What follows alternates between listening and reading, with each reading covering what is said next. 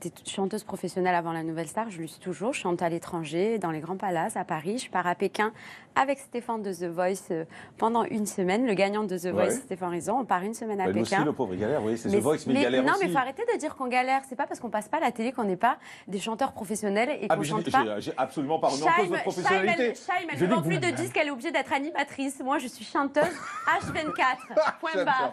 Merci Chaim, si tu nous regardes, comme dirait Michel Ricard, désolé. Non mais vous chantez, mais vous n'avez pas la grande Mais carrière. c'est pas grave, je chante dans Stéphane le monde Rizzo, entier. le pauvre, mais on c'est- l'a- on- je l'ai reçu plusieurs fois. C'est un garçon qui est adorable aussi, mais il galère. Mais non, il galère pas. Il chante partout dans le monde entier, dans les plus grands endroits magnifiques euh, de la terre. Et c'est pas parce qu'on n'est pas euh, devant euh, à la télé qu'on n'est pas des chanteurs heureux. On chante tout le temps et on chante même plus souvent que Shaim, qui est obligée d'être animatrice parce que elle n'a plus euh, les moyens de vendre de disques.